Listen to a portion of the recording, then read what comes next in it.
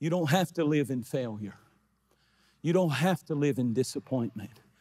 You don't have to live in defeat and in bondage and in addiction and in guilt and in shame. You don't have to live like you're less than damaged goods. What a lie from hell. Handle me and see. Handle me and watch how I'll recycle even what the enemy meant to destroy you, what he meant for evil. I'll take it and I'll mold it and I'll make you into such a beautiful thing that you'll be the envy of other people. Well, I don't know where this is coming from, but I feel like preaching this morning. I'm telling you, I'm telling you, we serve a Savior who recycles evil.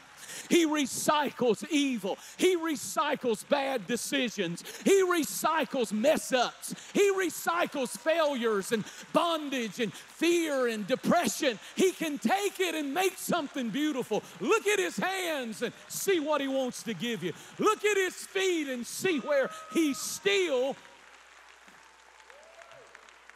some, sometime the other day in my study, I wrote these words down on a piece of paper. And I was so frustrated because I felt such pressure and I felt like I didn't have the message and I and I was just I was sweating it. I was just it was aggravated. It's this feeling that comes on you when you don't have the words and you don't have the message and the clock is ticking and all of y'all are coming and you're like a bunch of hungry birds and I'm supposed to have the worm and I was stressing out. I was tense. I was upset. Nothing was speaking to me. Nothing was going off in me. Nothing. And I looked up in my office and I said, God, why did you choose me? I'm not this. I'm not that. I'm not smart enough to do this. He said, You've only been doing it 40 years, dummy. But I'll never forget what the Lord told me. I wrote it down. He said, I chose you because you are you. I didn't need somebody else. I didn't want somebody else. I'm not interested in somebody else doing what I've called you to do. I chose you because you're you. And here I am. This is all I am. This is all I have. But what you are when He touches it, oh, when He gets you from His hand, when He slips into your shoes, and he says, Let me take you somewhere that you never dreamed. Yeah, I could, I could get a PhD, I could get somebody with so many degrees, they're like a thermometer, but I'd rather have you. Don't you look at me funny like I don't know what I'm preaching about. I've seen those hands give to me things that I never dreamed I'd have. I've seen those feet usher me right in. I've seen them walk me right into the Oval Office and sit down and preach to a president. Don't tell me God can't use you. Don't tell me God can't reach through you. Don't tell me God can't take your weakness and make it his strength. Somebody give God a praise right now. Woo! Hallelujah!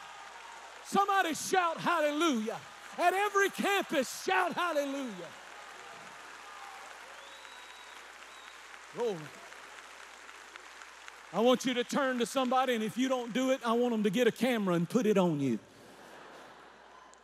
I want you to turn to somebody and say, You have not seen God's best yet grab them by the arm and shake them and say, I said, you have not seen. You need to handle him and see. You have no idea. Eyes have not seen and ears have not heard. Neither has it entered into your thoughts what God has planned for them that love him. He wants to give it to you, He wants to take you to it. Well, I feel the call of God in this room on somebody's listening to me and you have no idea what God's about to do in your life. But we're going to look, we're going to see the before and after shot of you. And you're going to stand there and scratch your head and say, It all happened when I heard him challenge me. Handle me. Get a hold of the word again. Get a hold of prayer until tears are.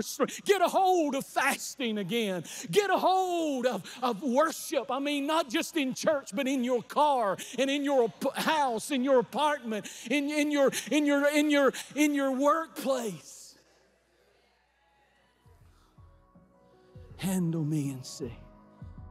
Thank you so much for watching. Make sure that you subscribe to our channel so that you can get notifications on new posts and live streams. Be sure to share this video with a friend. You never know how you can send the Word of God right when somebody needs to hear it.